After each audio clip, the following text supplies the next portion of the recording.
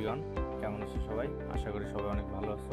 তোমরা যারা ম্যাট্রিক্সের দ্বিতীয় ভিডিওটি শেষ করে তৃতীয় ভিডিওতে দেখার জন্য ক্লিক করেছ, সবাইকে স্বাগত জানাচ্ছি আমি শাহরিয়ার। অর্থাৎ এটা হচ্ছে আমাদের ম্যাট্রিক্সের তৃতীয় ভিডিও। এই ভিডিওতে আমরা আলোচনা করব ম্যাট্রিক্সের যোগ এবং বিয়োগ নিয়ে। সো কোন শর্তে দুটো ম্যাট্রিক্স যোগ করা যাবে, বিয়োগ করা যাবে, সেগুলো নিয়ে আমরা এই ভিডিওতে আলোচনা করব। চলো শুরু করা যাক। তোমরা এখানে দেখতে পাচ্ছ, আমরা এখানে তিনটা ম্যাট্রিক্স লিখে রেখেছি এ ম্যাট্রিক্স বি ম্যাট্রিক্স এবং সি ম্যাট্রিক্স এবং এখানে টাইটেলে লেখা আছে, দুটো ম্যাট্রিক্স যোগ অথবা বিয়োগ করার শর্ত। আমরা এখানে এ এর সাথে বি বি এর সাথে সি এবং সি এর সাথে এইগুলো যোগ করা ট্রাই করব, দেখব কোনটা যোগ করতে পারতেছি এবং কোনটা যোগ করতে পারতেছি না, সেগুলো ভালো মতো খেয়াল করব। প্রথমে আমরা তিনটা ম্যাট্রিক্সের অর্ডারটা একটু লিখে নিই। প্রথম ম্যাট্রিক্সের অর্ডার হচ্ছে থ্রি বাই থ্রি দ্বিতীয় ম্যাট্রিক্সের অর্ডার হচ্ছে থ্রি বাই টু এবং তৃতীয় ম্যাট্রিক্সের অর্ডার আবার লেখা আছে থ্রি বাই থ্রি এখন এ এবং বি, দুইটা ম্যাট্রিক্স যদি আমরা যোগ করতে যাই, তাহলে আমরা যে সমস্যার সম্মুখীন হব, সেটা হচ্ছে এইটার অর্ডার হচ্ছে থ্রি এইটার অর্ডার হচ্ছে থ্রি বাই থ্রি এবং এটার অর্ডার হচ্ছে থ্রি বাই টু দুইটা ম্যাট্রিক্সের অর্ডার যদি যোগ সমান না হয়, তাহলে আমরা কোনোদিন ওই ম্যাট্রিক্স দুটো যোগ করতে পারব না। সো এইটা পসিবল না। আবার যদি বি এর সাথে সি যোগ করার চেষ্টা করি, সেটাও হবে না, কারণ বি এর অর্ডার এবং সি এর অর্ডারও সেম না। কিন্তু আমরা এখান থেকে যে জিনিসটা করতে পারব, সেটি হচ্ছে এ ম্যাট্রিক্সের সাথে সি ম্যাট্রিক্সটা যোগ করতে পারব। তাহলে আমরা একটু শর্তটা লিখে নিই। দুটি ম্যাট্রিক্স যোগ করতে পারার প্রথম শর্ত হচ্ছে ম্যাট্রিক্স দুটির অর্ডার ম্যাট্রিক্স দুইটির অর্ডার অথবা ক্রম সমান হতে হবে। অর্ডার সমান হতে হবে। এই শর্তে আমরা দুইটা ম্যাট্রিক্স যোগ করতে পারব। এখানে আমরা একটু তাহলে দেখি কীভাবে যোগ করতে হয় দুইটা ম্যাট্রিক্স আমরা যখন এ ম্যাট্রিক্সের সাথে সি ম্যাট্রিক্সটা যোগ করব, প্রথমে আমরা এ ম্যাট্রিক্সটা লিখব। ওয়ান টু ফাইভ তারপরে minus two three two one minus one one এরপরে প্লাস চিহ্ন দিয়ে আমরা বি ম্যাট্রিক্স যেটা ছিল, অর্থাৎ সি ম্যাট্রিক্স যেটা ছিল, সেটা লিখব। Minus one minus one one two two minus two minus three minus three three then আমরা যোগ করব। অর্থাৎ প্রথম ম্যাট্রিক্সের প্রথম উপাদানের সাথে দ্বিতীয় ম্যাট্রিক্সের প্রথম উপাদান যোগ করব। প্রথম কলামের সাথে প্রথম কলাম যোগ করব। আমরা যদি কলাম হিসাব করে দেখি, অর্থাৎ এক নাম্বার কলাম টোটালটার সাথে এখানকার এক নাম্বার কলাম টোটালটা যোগ করব এবং এখানে এক নাম্বার কলামের জায়গাতে সেটাকে লিখব।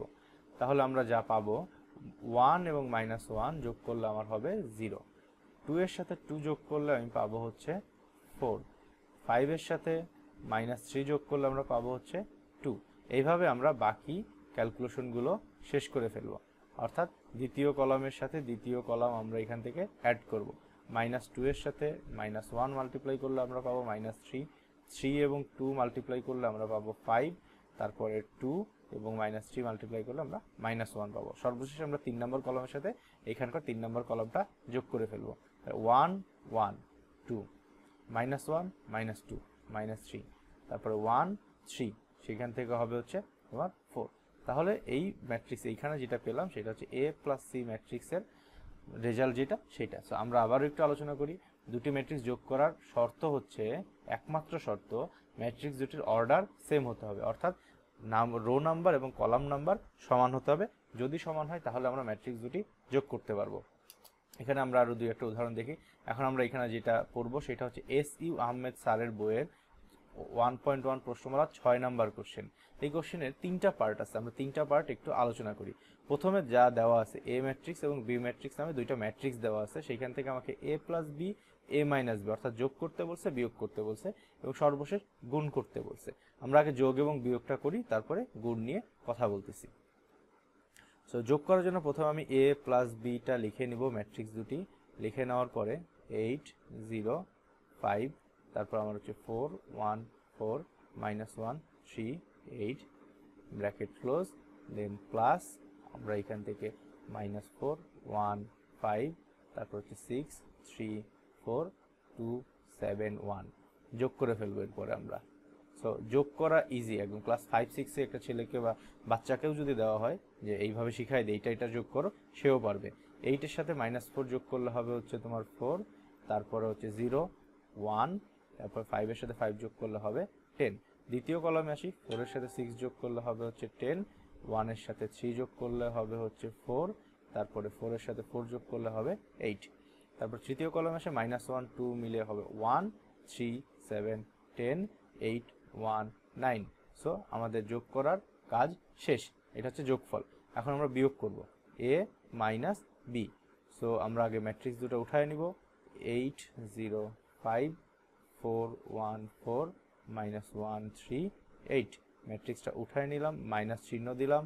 এরপরে হচ্ছে আমরা minus four one five six three four তারপরে two seven one bracket close এখন আমরা বিয়োগফলটা লিখব। অর্থাৎ যোগের মতো একই রকম। প্রথম উপাদান থেকে ওয়ান ওয়ান থেকে ওয়ান ওয়ান বিয়োগ করব। সো এইটের থেকে মাইনাস ফোর মাইনাস করলে আমার আসবে হচ্ছে এইট প্লাস ফোর অর্থাৎ টুয়েলভ তারপর আমরা এখানে ব্র্যাকেটটা দিয়ে নেই। জিরোর থেকে ওয়ান বিয়োগ করলে হবে মাইনাস ওয়ান ফাইভ থেকে ফাইভ বিয়োগ করলে হবে হচ্ছে আমাদের এখানে জিরো ফোরের থেকে সিক্স বিয়োগ করলে হবে মাইনাস টু ওয়ান থেকে থ্রি বিয়োগ করলে হবে মাইনাস টু ফোর থেকে ফোর বিয়োগ করলে হবে জিরো তারপরে মাইনাস ওয়ান থেকে টু বিয়োগ করলে হবে মাইনাস থ্রি থ্রি থেকে সেভেন বিয়োগ করলে হবে হচ্ছে মাইনাস ফোর এইট থেকে ওয়ান বিয়োগ করলে হবে সেভেন সো এটা হচ্ছে আমাদের বিয়োগফল। এটা আমাদের যোগফল এবং এটা আমাদের বিয়োগফল। এখন এই পার্টটা যেটা আছে এ এবং বি দুইটা ম্যাট্রিক্স আমাকে গুণ করতে বলছে। ম্যাট্রিক্সের গুণ নিয়ে আমরা পরবর্তী ভিডিওতে বিস্তারিত আলোচনা করব, কোন শর্তে দুটো ম্যাট্রিক্স গুণ করা যায় এবং গুণের প্রসেসটা কীরকম।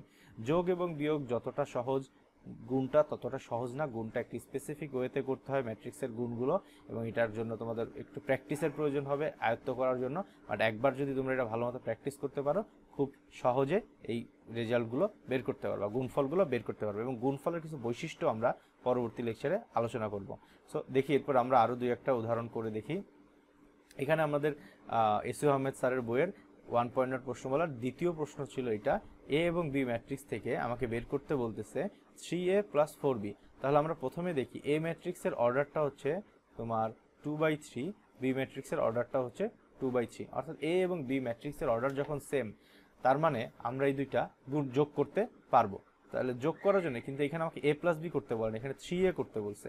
তো সবার আগে আমরা থ্রি এ বের করে নিব। থ্রি এর জন্য থ্রি ইন্টু টোটাল ম্যাট্রিক্সটা এখানে লিখব two three minus five zero one minus four তাহলে তিন দ্বারা প্রত্যেকটা উপাদানকে আমরা গুণ করে নিব। আমরা ম্যাট্রিক্সের ক্ষেত্রে এরকম গুণের ক্ষেত্রে এবং পরবর্তী ওয়ান পয়েন্ট টু চ্যাপ্টারটা নির্ণায়ক নিয়ে। তো নির্ণায়ক যখন করব, তোমরা তখন দেখতে পারবা, এই গুণের ক্ষেত্রে একটু পার্থক্য থাকে। তো তিন দ্বারা প্রত্যেকটা উপাদানকে গুণ করতে হবে ম্যাট্রিক্সে গুণ করার ক্ষেত্রে। তাহলে ছয়, তারপর নয় minus fifteen zero three minus twelve এটা শেষ। তারপর আমরা ফোর বি এর ভ্যালু যেত, সেটা আমরা বের করব। ফোর বি ফোর বি বের করার জন্য ফোর ইন্টু বি ম্যাট্রিক্সটা লিখে নেই। One zero minus two minus one minus three five so result যেটা হবে সেটা হচ্ছে আমরা টোটাল উপাদানটাকে চার দ্বারা গুণ করব। Four zero minus eight minus four তারপর আমরা এখানে আসবে হচ্ছে মাইনাস টুয়েলভ তারপর এখানে আসবে প্লাস টোয়েন্টি এখন আমরা যোগ করব।